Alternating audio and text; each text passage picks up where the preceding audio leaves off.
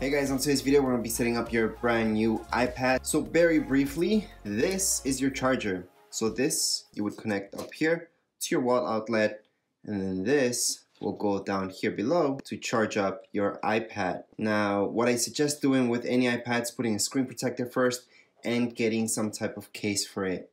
So just be aware of that. You do not need to charge it right away unless it comes without any battery charge, but usually they do.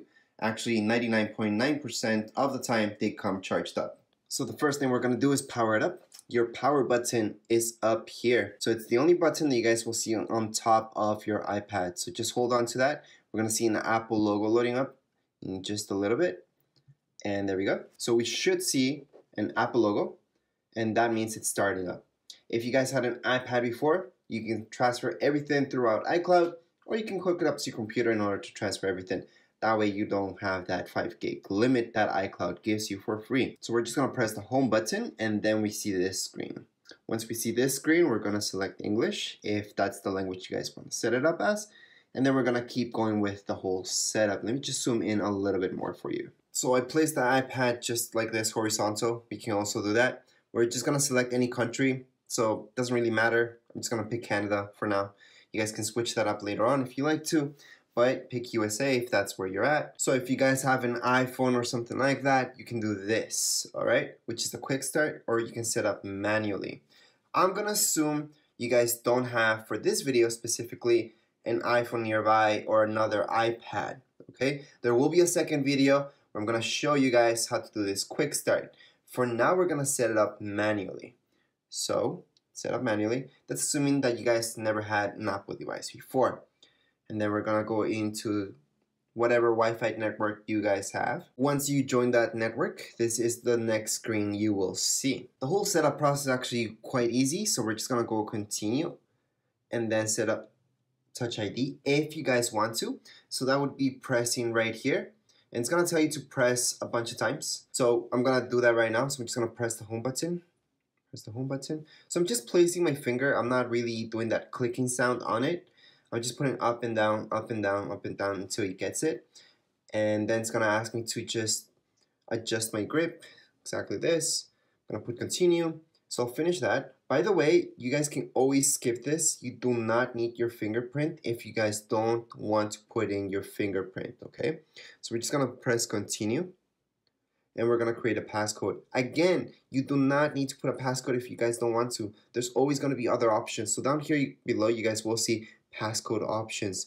We can tap right there and then here we're gonna see all these options, right?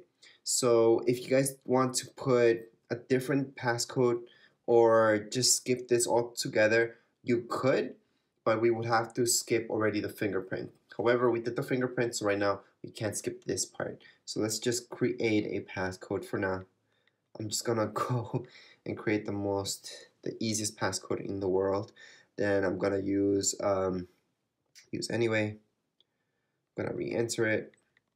I suggest using something better than this unless you guys don't care. If you guys don't care, might as well skip the passcode. At this point, it's gonna ask you if you guys want to transfer anything from your past iPad, if you guys had one before, or really from anywhere. However, we're assuming you guys are brand new for this particular video. I'm gonna do another one where it's gonna be different. We're gonna set it up with your iPad or your iPhone and that way it's going to be much faster. So we're going to choose don't transfer anything and right here this is important. So if you guys don't have at this point in time an Apple ID you guys can always always go right here use different Apple IDs for iCloud and iTunes. You can always choose that okay. If you guys have an Apple ID you would just put it here. If you guys forgot or don't have an Apple ID guys can always create one right here. Okay, so I'm assuming most of you wouldn't have an Apple ID at this point. So again, you would choose this option and then create Apple ID, which is your second option, and just fill up all the information that it gives you. Once you guys create that, just put it in and you guys will, it will take you into this, okay? So let's say you guys want to use different Apple IDs for iCloud and iTunes you guys can choose that option down here. I'm just showing you all the options that you guys have. However, for most of you, this will not be it, by the way. That's only for some of you who have different Apple IDs. Just gonna go back. And if you guys have an Apple ID, like I mentioned, just put it right here. Now, although I highly, highly suggest putting in your Apple ID or create one right now, you could set it up without an Apple ID. That's another option. So it's actually the same way that we go right here, but this time we're gonna see in the bottom, it says set up later in settings. We can always do that. So we can just put don't use. And from here we just put agree. We go on to continue. This is up to you guys. You guys can enable or disable. I say go ahead. Siri, this is really cool because Hey Siri should work right away. So you guys should be able to say Hey Siri and then this will recognize your voice without you guys having to touch or press on the home button like we used to do before. So it's pretty cool if you guys want to set this up. If you don't, you guys can always skip that. So I'm just gonna show you how to set that up and then we might skip it in the end, but who knows. Let's just go on to continue. Hey Siri. Hey Siri, send a message. Who do you want to send it to? Hey Siri, how's the weather today? Hey Siri, set a timer for three minutes.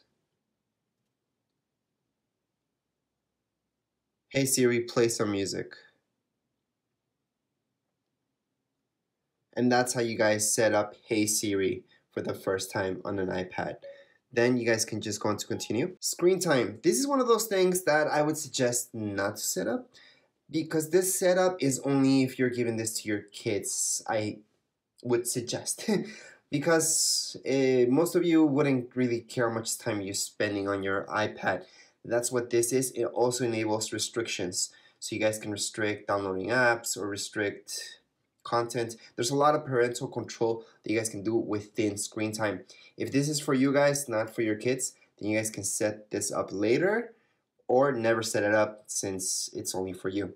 So I'm just gonna put set up later in settings because that's really only for your parents, you would set that up.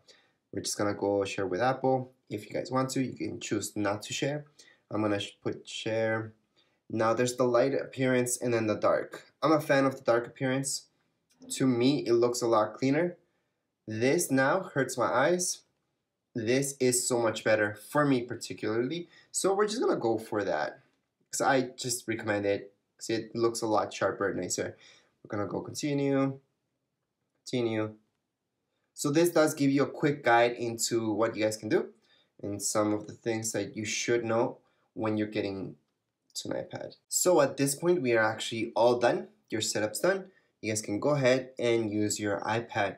Now for you guys that haven't used an iPad before, there's a few things you should know. For example, if you slide your finger this way, you will get this stuff, which you guys can mess around with. So you guys could have your calendar here, and you guys can have all the widgets you guys like right here on the side window. So I'm gonna put that back. Something else to know is if you slide your finger this way, you will see this. So you can control your volume one of the options to control your volume. Obviously, you guys have the buttons. Your brightness, Bluetooth, AirDrop, which is the coolest thing ever. So I'm going to put that to everyone for now. You guys can also AirPlay if you guys have an Apple TV. You guys could AirPlay to that. Camera and then Airplane mode. Okay, so it's really good to know that stuff. There's a lot of gestures that you guys can do. There's also a gesture from down here below. If you go up, if I had apps open, let me just open some apps for you to do it. So yeah, I'm gonna open this up as well. Okay, so if I slide up right now, I should be able to see my apps here.